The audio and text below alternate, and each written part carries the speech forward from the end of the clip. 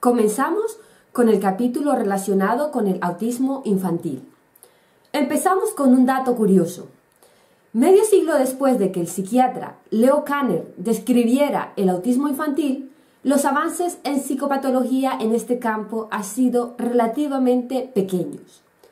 El concepto de autismo ha sufrido diferentes reformulaciones desde que Kanner lo definiera por primera vez.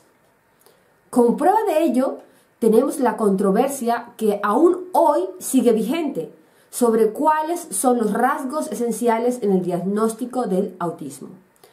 Así, la polémica se centra en si son los factores cognitivos o si son los factores socioafectivos los rasgos esenciales en el diagnóstico del autismo. No obstante, quizá sea esta falta de acuerdo la que ha puesto de manifiesto que el trastorno autista afecta a una amplia gama de áreas del desarrollo cognitivo, además de la afectiva.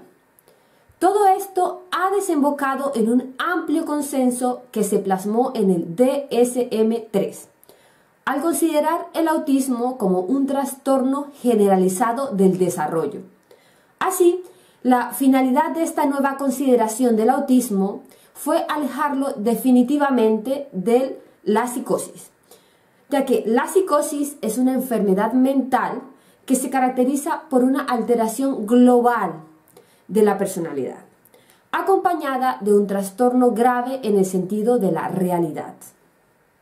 Así, en referencia a la clasificación del autismo plasmada en el DSM-3, tenemos que este consenso ayudó a establecer como rasgos primarios del autismo tanto los factores socioafectivos como los factores cognitivos y los conductuales, intentando recoger de esta forma las diferentes concepciones que se tenían del autismo hasta ese momento. Así, para empezar con las manifestaciones del autismo, nos preguntamos, ¿Cuál es el rasgo más conocido que presentan los niños autistas? Los problemas que presentan los niños autistas en su conducta social es quizás el rasgo más conocido tanto por la comunidad científica como por la sociedad. Así, cuando se habla de un niño autista, la imagen que nos viene a la cabeza es la de un niño extravagante, encerrado en sí mismo, que no habla ni juega con nadie, casi como si viviera únicamente consigo mismo, ignorando el resto del mundo, incluso a sus padres o hermanos. Ahora pasamos a otra de las características esenciales del autismo, que es la preocupación que tiene el niño autista por preservar la invariabilidad del medio. Esto quiere decir que los niños autistas muestran con frecuencia una hipersensibilidad al cambio ya que manifiestan una gran resistencia a los cambios ambientales o a las modificaciones de sus pautas habituales. Ahora pasamos a las alteraciones del lenguaje. Aquí nos encontramos con que los niños autistas que llegan a hablar lo hacen de una forma característica, con unos patrones lingüísticos cualitativamente diferentes de los niños normales y de los niños con otros trastornos del habla. Además, un alto porcentaje de niños autistas no adquiere el lenguaje expresivo nunca. Se estima que esto ocurre entre el 28% y el 61% de niños autistas. Entre estos niños autistas que no adquieren el lenguaje expresivo nunca, solo un 5% presenta una capacidad intelectual para adquirir el lenguaje, aunque con déficit muy graves de comprensión y mutismo. Eh, aquí nos comentan eh, sobre el mutismo selectivo, que es un problema de inhibición del habla, que suele tener su inicio en la etapa preescolar.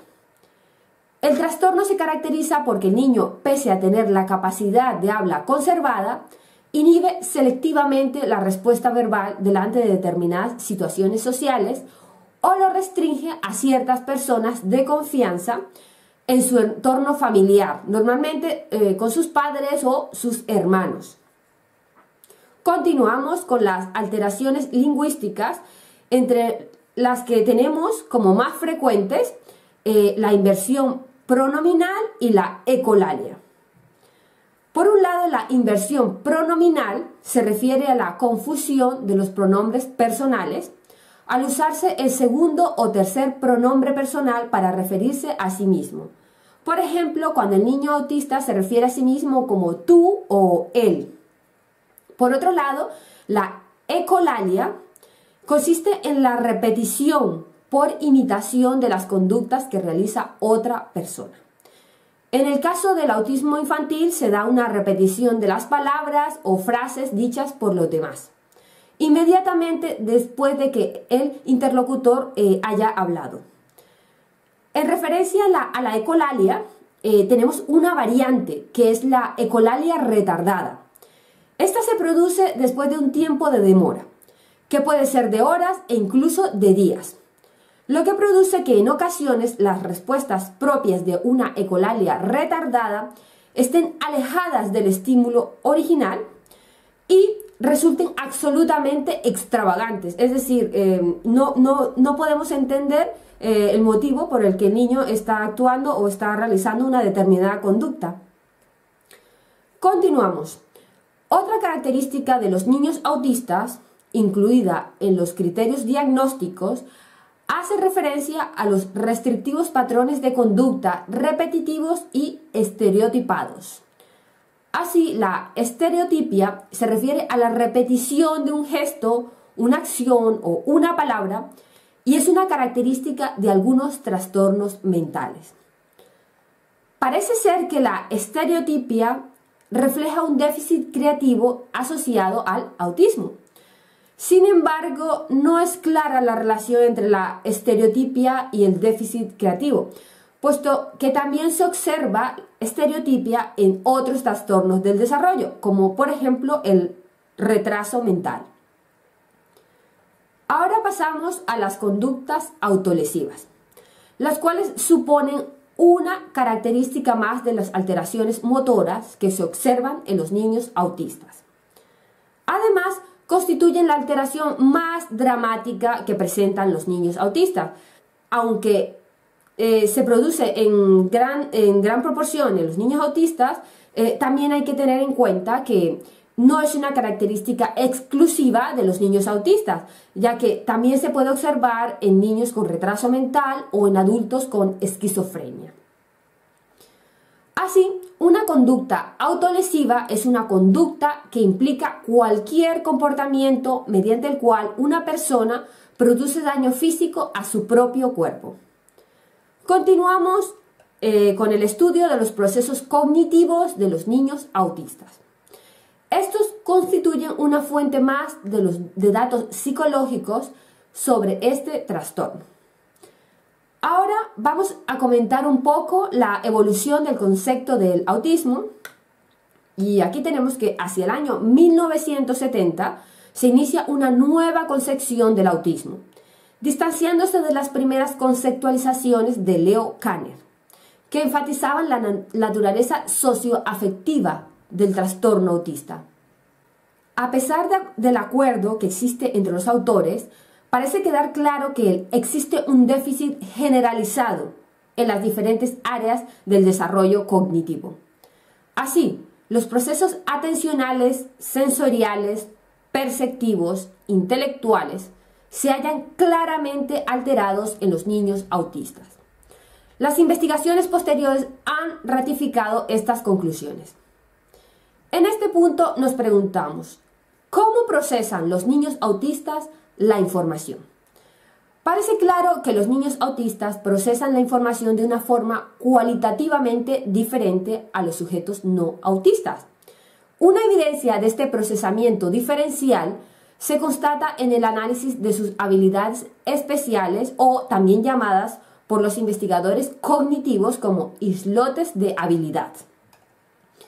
Aquí tenemos que los islotes de habilidad son capacidades intelectuales que son que con frecuencia permanecen extraordinariamente intactas, siendo en algunos casos superiores en los niños autistas. Aquí podemos recordar casos de niños autistas que poseen extraordinarias habilidades para la música o para el arte. Continuamos con otra característica cognitiva esencial del autismo, que es la respuesta anormal que los niños autistas dan a una estimulación sensorial. A pesar de los datos aportados sobre esta alteración conductual, no podemos concluir que se trate de un problema perceptivo, sino más bien de sus procesos atencionales, que son cualitativamente diferentes del resto de los sujetos. Por otro lado, existen algunos problemas relacionados con los criterios diagnósticos del autismo, como son, en primer lugar, la heterogeneidad con que se presentan los casos de autismo, en segundo lugar, la multitud cantidad de síntomas o características conductuales descritas relacionadas con el trastorno. Y en tercer lugar, las controversias sobre cuáles son las características necesarias para diagnosticar el autismo. Además, eh, todos estos puntos que acabo de mencionar aumentan la dificultad de establecer un punto de corte entre el autismo y otros trastornos que comparten algunos síntomas. Así, el autismo puede diferenciarse al menos de siete categorías diagnósticas. Entre ellas tenemos el retraso mental, la privación ambiental, el síndrome de Asperger, entre otros. Continuamos con las teorías explicativas que imperan actualmente sobre la etiología del autismo. Estas teorías explicativas se pueden agrupar en dos grandes grupos. El primer grupo de hipótesis hace referencia a los factores genéticos y a las variables neurobiológicas. Y, el segundo grupo de hipótesis eh, intenta integrar eh, los aspectos psicológicos que subyacen al comportamiento autista. Entre los aspectos psicológicos tenemos los aspectos afectivos, cognitivos y sociales. Para finalizar, hay que tener claro que estos dos grupos de hipótesis no son incompatibles entre sí. Todo lo contrario, constituyen dos perspectivas complementarias para el estudio del trastorno autista. Ahora vamos a recordar algunos conceptos importantes estudiados durante este capítulo. A continuación, indicaré algunas definiciones, dejando algunos segundos para que podáis pensar en qué a qué concepto me estoy refiriendo. Empezamos. Es una operación cognitiva implicada en atribuir creencias o estados mentales a los demás diferentes de los propios. Permite concebir meta-representaciones, que son una clase de representación interna. Y estas meta-representaciones son necesarias para explicar y predecir la conducta de otra persona.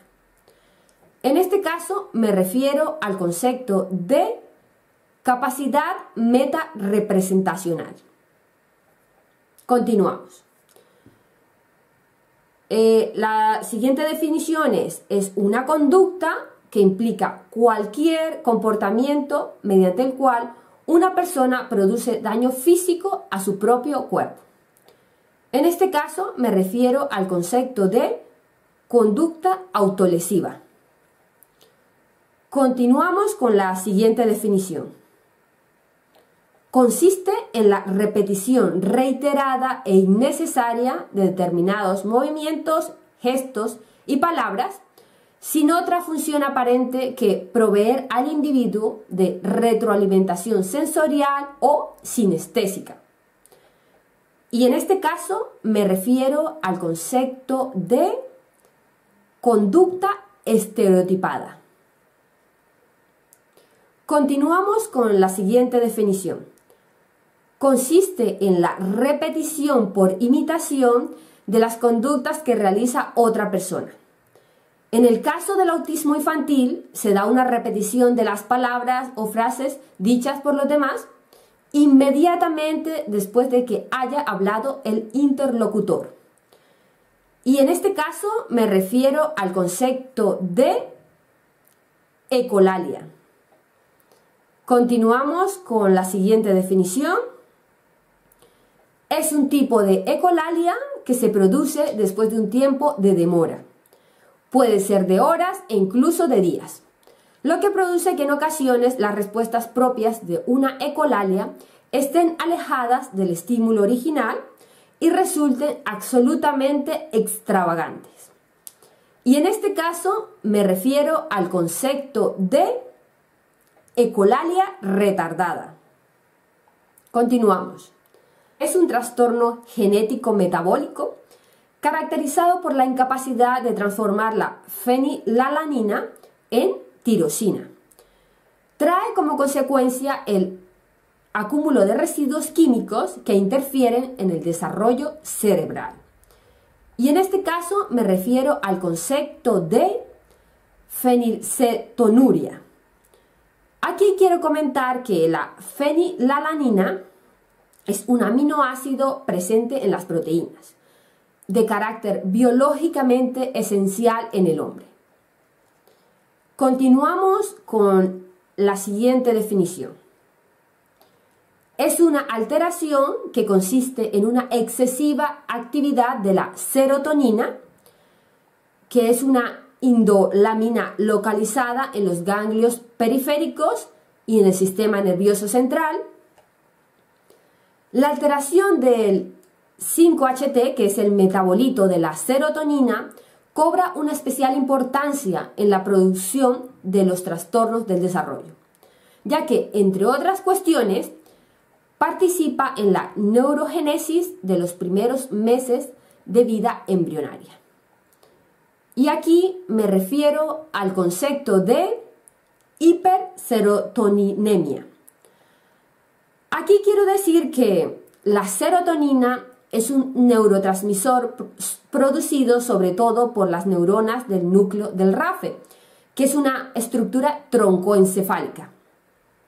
Es notable el hecho de que sujetos que padecen depresión, dificultades para el control o un despliegue excesivo de conductas agresivas presentan niveles bajos de serotonina. Por este motivo eh, se suele asociar la depresión con niveles bajos de serotonina. Continuamos con la siguiente definición. Es una persona con grave retraso mental, pero que es capaz de ejecutar determinadas tareas en áreas intelectuales específicas como el cálculo cronológico, resolución de un rompecabezas o la memorización de grandes listados. Y aquí me refiero al concepto de idiot savant. Continúo con la siguiente definición. Refiere a la confusión de los pronombres personales al usarse el segundo o tercer pronombre personal para referirse a sí mismo. Por ejemplo, cuando el niño autista se refiere a sí mismo utilizando tú o él. Y en este caso me refiero al concepto de inversión pronominal. Continuamos con la siguiente definición. Es una capacidad intelectual específica que permanece extraordinariamente intacta y en algunos casos es superior a la de las habilidades de las personas sanas. Y me refiero en este caso al concepto de islote de habilidad. Continuamos con la siguiente definición. Es un término bajo el que se agrupan las enfermedades desmilianizantes que cursan con ausencia primaria o degenerativa de la mielina del sistema nervioso central y periférico, con reacción glial, y que suelen estar relacionadas con una alteración del metabolismo de los lípidos. Y aquí me refiero al concepto de leucodistrofia. Aquí quiero comentar que las células gliales cubren el entramado neuronal, son muy abundantes y sobrepasan en número a la cantidad de neuronas y además las células gliales continúan dividiéndose en el sistema nervioso adulto. Por otro lado, la vaina de mielina está formada en su mayor parte por lípidos. Constituye un buen sistema de mejora para la transmisión de los impulsos nerviosos. Además, la mielina envuelve los oligodendrocitos, que son pequeñas células gliales. Continuamos con la siguiente definición. Se refiere a la infiltración grasa de los líquidos o células debido a un trastorno del metabolismo lipídico. Es una alteración genética de las enzimas. Y en este caso me refiero al concepto de lipoidosis, también denominada lipidosis. Continuamos con la siguiente definición. Es la asección con lo que también se conoce el autismo infantil, en reconocimiento a Leo Kanner, que fue el primero en describir este trastorno infantil. Y aquí me refiero al concepto de síndrome de Kanner. Es decir, esta es otra denominación de el autismo infantil. Continuamos con la siguiente definición. Es la teoría inicialmente propuesta por Premar y Goodroof en 1978 para explicar la capacidad que tienen las personas para atribuir estados mentales a otros sujetos y utilizarla posteriormente para explicar el comportamiento de dichas personas. Y en este caso me refiero al concepto de teoría de la mente. Con esto finalizo este breve resumen del capítulo relacionado con el autismo infantil.